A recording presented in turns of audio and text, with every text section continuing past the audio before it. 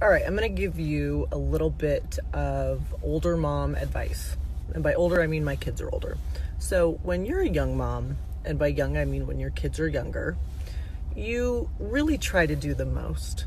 You're out here cutting sandwiches into fucking shapes, uh, you know, buying color coded toys and shit, you know, clothes that are too expensive so they look nice. Your kids aren't gonna fucking remember that. Just FYI. I mean, like, you do you, we all do it for ourselves. I don't know if you know this, but when your kids are little, you be the mom that you wanna be. Um, because kids don't remember. Save yourself. Don't get so tired. Just let some shit slide. Wait until they're like middle school and high school. That's when you be the mom you really want to be because that's the mom that they fucking remember. Don't wear yourself out in those few couple years doing shit that doesn't even make fucking sense.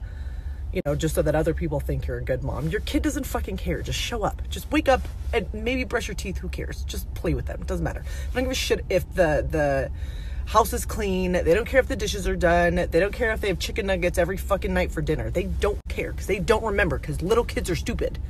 Big kids are to remember that shit. So, like, just save yourself some time. Um, be a shitty mom in the beginning because it doesn't matter. And when they're in high school, that or in middle school, that's when you wake up and you make breakfast burritos from scratch. You do all that shit that like you would have done, you know, when they were little. You're welcome.